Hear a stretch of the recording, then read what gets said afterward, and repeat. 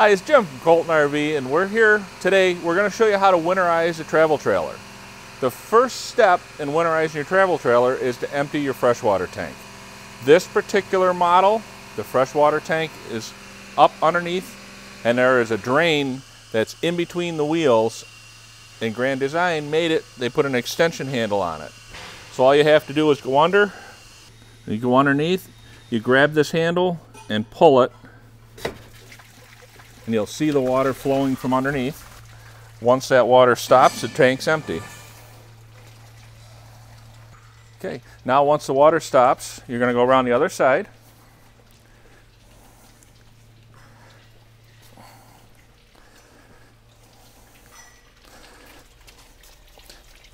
This particular model has low point drains that are back underneath here with valves on them. So you're going to open up these two valves on the low point drains and then you're going to go inside and you're going to open the faucets to allow water to come in the top so it'll let the water out the bottom on the low point drain. Okay, so when you're opening the faucets to let air in the top, you'll actually hear it. So you open the faucets, you'll hear the air rushing in as the water's going out the bottom. Once that air noise stops, close the valves, move on to the next faucet.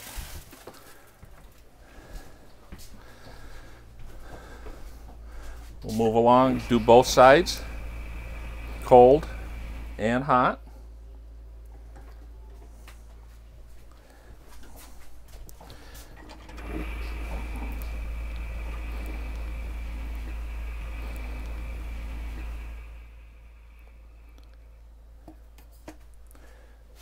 Your shower.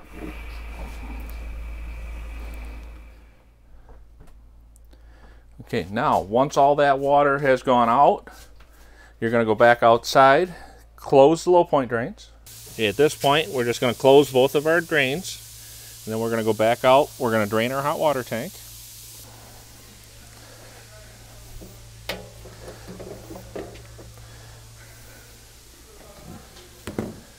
Now in the hot water tank, you always want to make sure that you trip the pressure and temperature valve so that it relieves the pressure from it. And then you're going to remove the drain plug. And you one big thing is always stand to the side of it because there will be water coming out of it.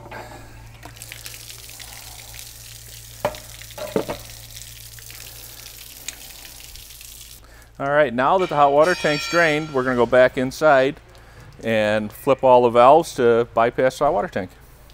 And when it comes to hot water tank bypasses, there's three, four different models. One's a single valve, one's a double valve with a check valve, one's three valves, and one's a remote single valve. This particular unit is using a three valve unit that's on the back of the hot water tank. Okay, at this point, you're going to use the three valves and just start at the bottom, turn the valve. Across the tube is off. This one needs to be on so that the water can flow through it.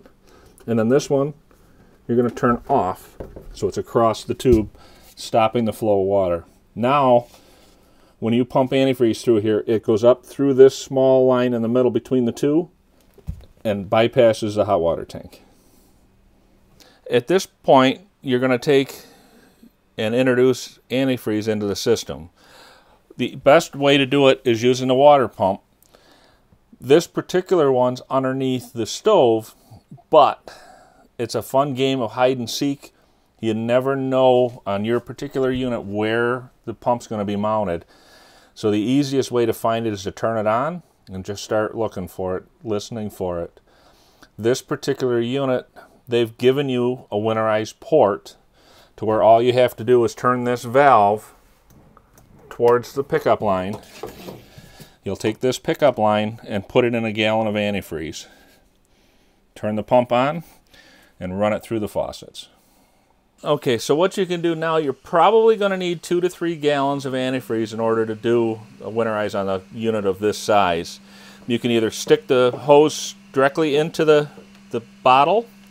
You can get a five gallon pail, put your three gallons in it, stick this in the pail, Or like we do is a five gallon pail with a hose hooked up to it and we just hook it up and flow antifreeze. Okay, so this particular unit, the water pump switch is here. You're just going to turn it on. You'll hear the pump stop once it builds pressure. And then we'll go through and we'll just start opening faucets until you see pink come out of the faucets. Okay, so what we're going to do is start at the half bath on this unit. I'm going to open the faucet until we see pink. Open the hot side. And then run a little extra so that it'll fill the trap. Toilet. Run the toilet till you see pink. And then move on to the next faucet.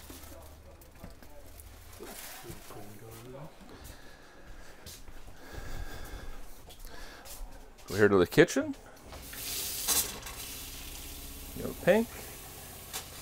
You have pink on the cold side. A little extra to fill the trap and the drain.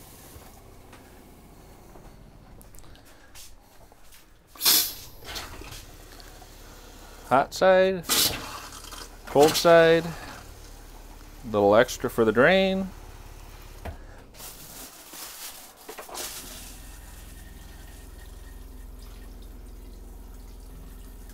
Toilet till it's pink.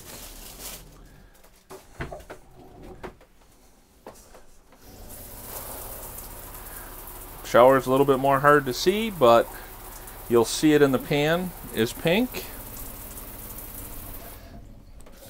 Turn on the other side.